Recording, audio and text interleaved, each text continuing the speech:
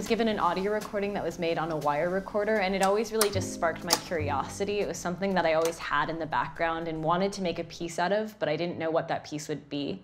And just started listening to it, and it always really brought me a lot of joy.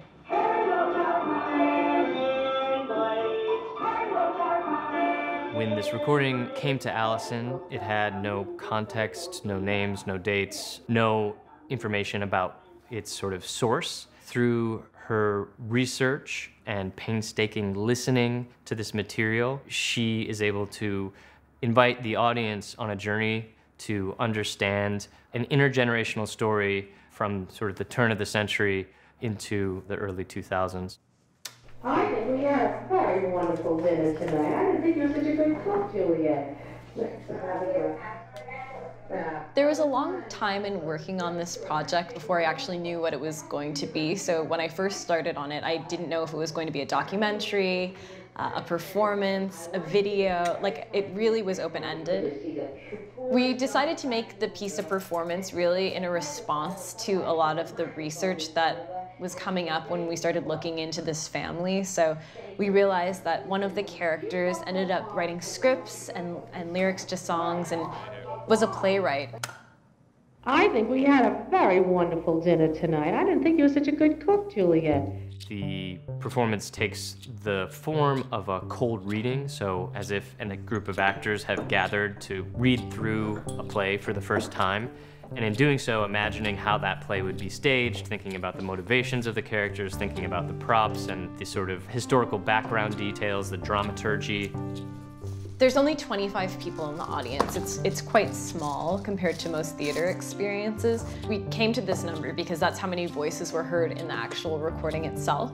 So in the script, you see the cast list and you realize there's 25 people, you see a name, each person at the table has a character. And then for 45 minutes of the performance, you're following along with the script and you're reading the script. Front left, front right, front left. So the audience members are really participants in the performance, but they're not actors or performers. So it's a one-woman show. I'm the only person who speaks during the performance, but I also ask the audiences to become a character and temporarily place themselves in that character's shoes. I am a Yankee Doodle boy. So, did I mention that this was a musical? That was an amazing opening number, Sam. Bravo. But before we go into that, I'd like to talk about the first song heard in this recording. June, you sing it, and it's important because it helps locate us in time.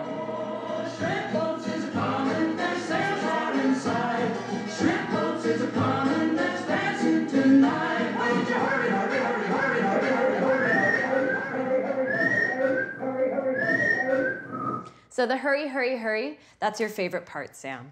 Now, it's my belief that, June, you start to sing Jo Stafford's 1951 song Shrimp Boats Is A-Coming, but then you switch to a tune you've heard more recently on the radio. Herring boats are coming. Okay, so Herring Boats Are Coming is a parody of Shrimp Boats Is Coming by Yiddish comedian Mickey Katz. And I actually have the record right here.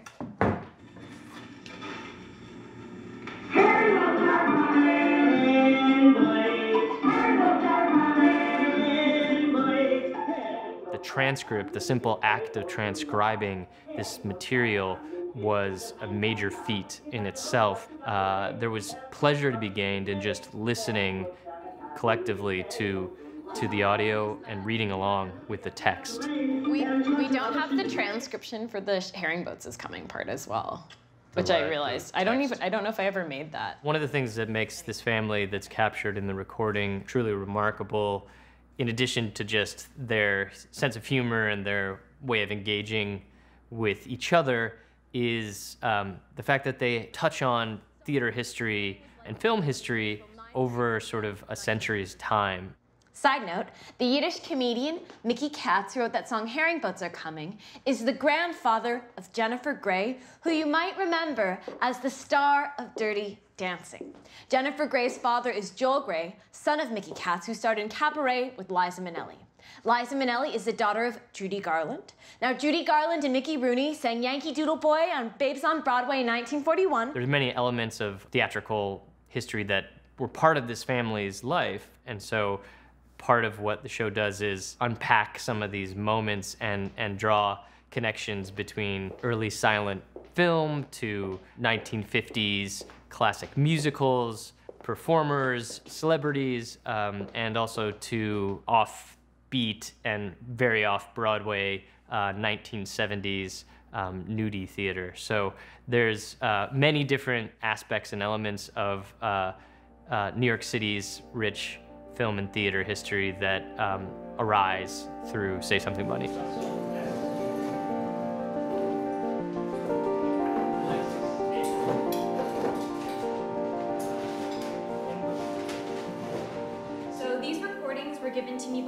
Friend in 2011.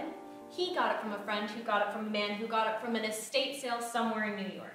And when my friend opened the box, there were two reels hidden inside. And if you can see here, it's actually sound that's been recorded to a piece of wire as thin as a piece of hair. Now, the two recordings that we're working tonight had no labels on them, no names or dates attached, and a lot of it was really difficult to hear and decipher, like this.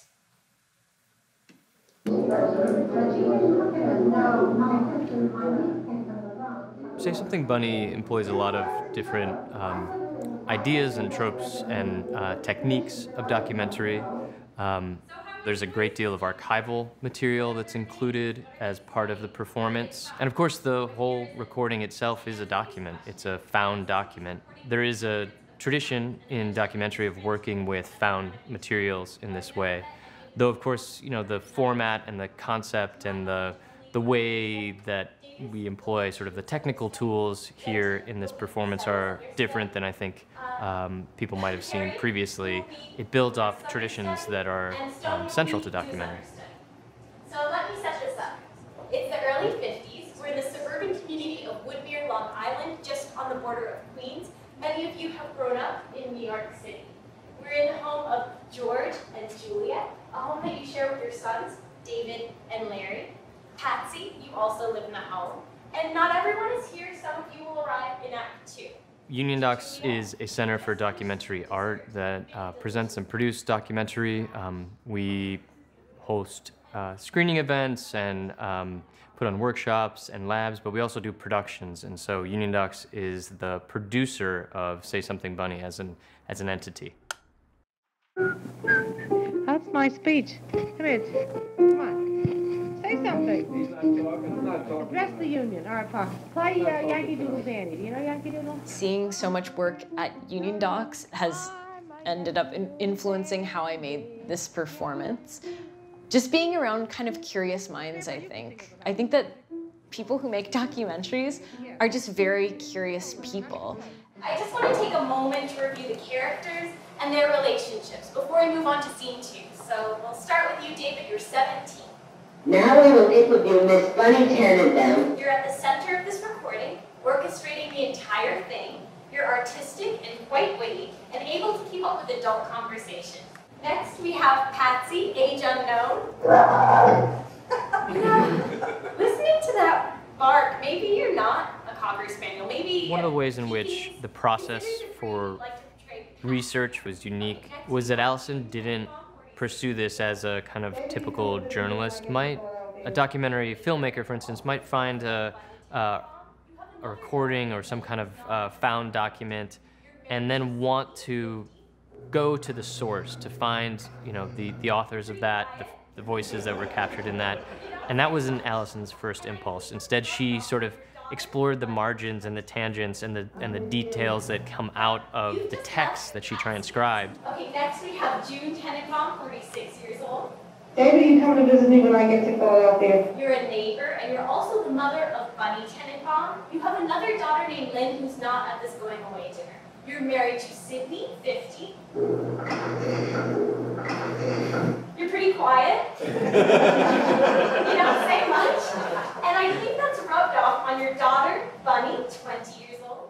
I always feel like it's good to look outside of your discipline and to not just reference things in performance to make a performance. So, the structure of certain books that are really capturing what it is to be alive in different ways or creating different ways to uh, represent narrative in book form was very inspiring to this piece specifically.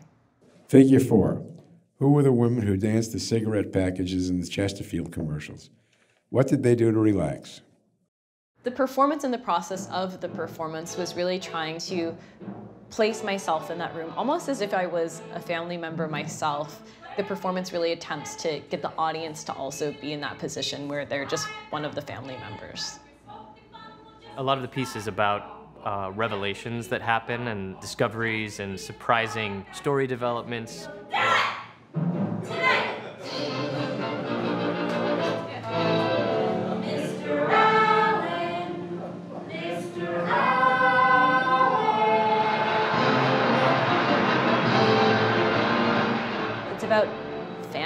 It's about legacy, it's a moment in New York City, it's about things that we give away, what happens to them, how do we tell stories about ourselves.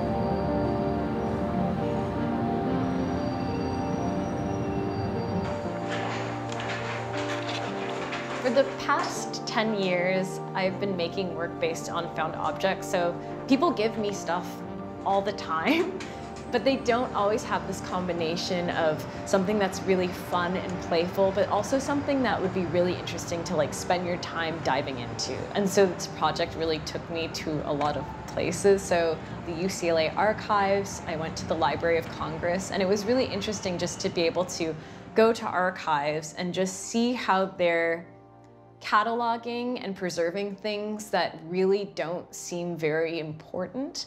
I was so happy that some someplace somewhere uh, kept a record of these people's lives. People who are ordinary people, things traced to their lived experience are documented. Were you making some tea, Alison? I was making tea for myself. Okay. You want it?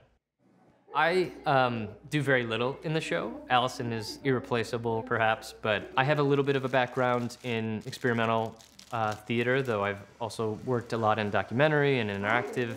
Uh, Alison in the past has mostly worked alone on her projects and uh, done everything from costumes to sets to uh, being the performer and, and running the camera. Um, it took us about six years of, of marriage before we were quite ready to to work together, but it's um, it's been a fantastic process. What should I say? Should I go into my song and dance now? You asked me a question there. What are your wise questions? Well, you have to talk loud. Oh, I have to talk very loud. Patsy, Patsy, come here. What are you doing? So blah blah blah. Uh, June and David repeat that conversation. This is rewind that. Oh, rewind that, please.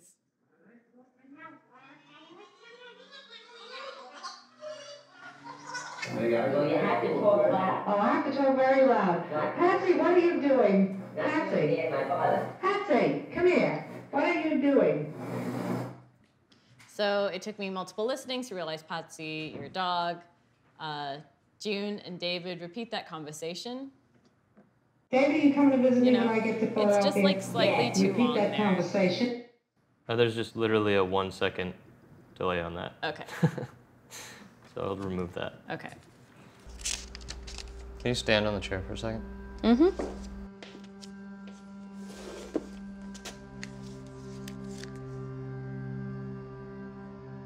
Our approach is somewhat of an outsider approach to theater because I'm not coming from a theater background. I didn't really have the same rules in mind in terms of creating a theatrical production.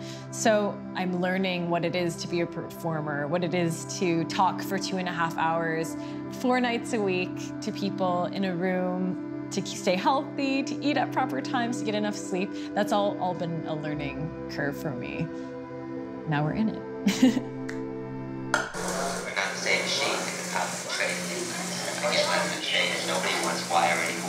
There's uh, a lot of layers. In fact, we're still finding discoveries in the material and, and uh, speculating about what's going on in certain um, moments. So there's still uh, a richness there for just for Alison and I.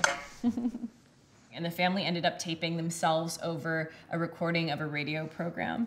This is both the recording of the family and then underneath the recording of this radio program.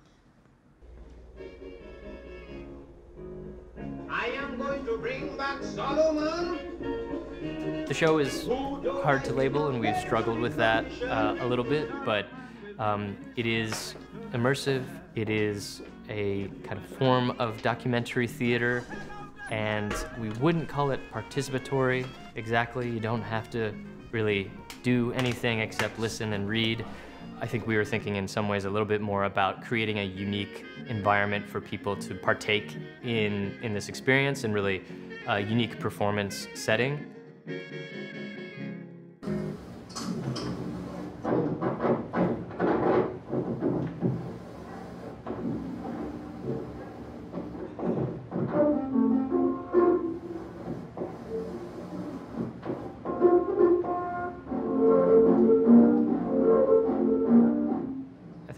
Both kind of came to the realization that working within the imagination of the audience was much more interesting, um, and that there was ways in which we could sort of prompt uh, the idea of a performance or a, or a film. Bunny. Say something, buddy. Say something. She shakes her head. Say, say a philosophy course. I'm with you. Oh, come on, say something. No, say something. Down, dog.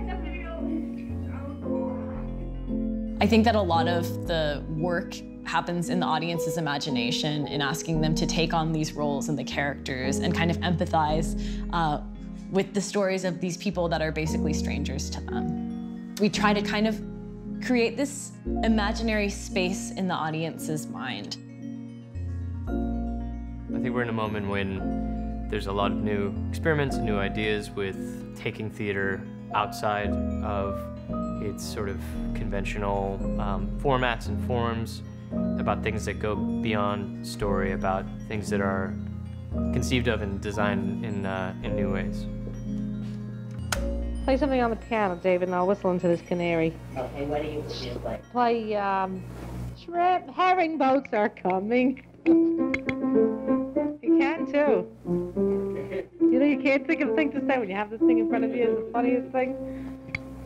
I don't know. Let's see what my things are. Hurry, hurry, hurry, hurry.